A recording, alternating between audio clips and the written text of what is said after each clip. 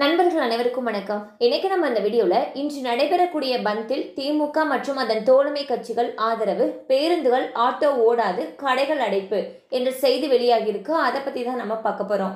வீடியோக்குள்ள போறதுக்கு முன்னாடி இது வரைக்கும் நீங்க நம்ம சேனலை சப்ஸ்கிரைப் பண்ணலைன்னா சப்ஸ்கிரைப் பண்ணிருங்க. மறக்காம பக்கத்துல இருக்கக்கூடிய பெல் பட்டனையும் கிளிக் பண்ணிருங்க. அப்பதான் எங்ககிட்ட இருந்து வரக்கூடிய அனைத்து பயனுள்ள தகவல்களும் உங்களுக்கு கரெக்ட் டைம்க்கு ரீச் ஆகும். இப்போ வாங்க வீடியோக்குள்ள போலாம். ஸோ ஒன்றிய அரசு கொண்டு வந்துள்ள மூன்று வேளாண் சட்டங்களையும் வாபஸ் பெற கோரி நாடு முழுவதும் இன்று முழு அடைப்பு போராட்டம் நடைபெறுகிறது. தமிழகத்தில் இந்த போராட்டத்திற்கு திமுக மற்றும் அதன் கூட்டணி கட்சிகள் ஆதரவு தெரிவித்துள்ளன.